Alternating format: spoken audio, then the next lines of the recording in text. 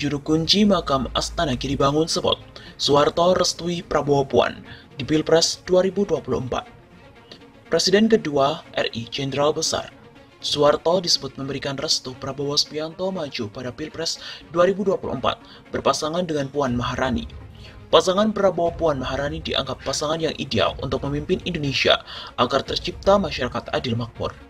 Sebelumnya, Prabowo Subianto ziarah ke makam Presiden Soeharto di Astana Giri Bangun, Karanganyar, Jawa Tengah setelah Pilpres 2019. Demikian dikatakan penjaga juru kunci makam Presiden Soeharto di Astana Giri Bangun, Karanganyar, Selasa 5 November malam. Agus sebagai juru kunci, mengaku sering berkomunikasi dengan Presiden Soeharto karena setiap hari merawat dan berdoa di sekitar makam yang selalu dikunjungi ribuan orang. Menurut Agus, beberapa hari lalu Jenderal Besar Soeharto sudah memberikan wangsit kepada dirinya bahwa Prabowo Subianto akan maju lagi pada Pilpres 2024 dan menang. Ya, Bapak sudah kasih tahu Pak Prabowo akan menang, apalagi berpasangan dengan Ibu Puan. Ujar Agus. Dia pun juga menceritakan bahwa Prabowo Subianto sebelumnya berziarah atau nyekar ke makam pemimpin Orde Baru tersebut. Menurut Agus, sebenarnya Soeharto berkeinginan anak-anaknya tampil atau terjun ke dunia politik secara penuh.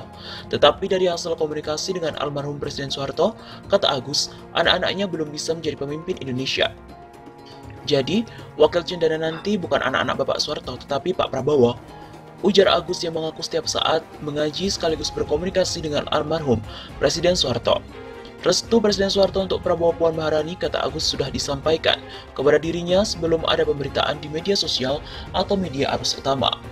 Saya sudah dapat info dari Bapak beberapa hari lalu waktu berdoa di makam beliau, kata Agus.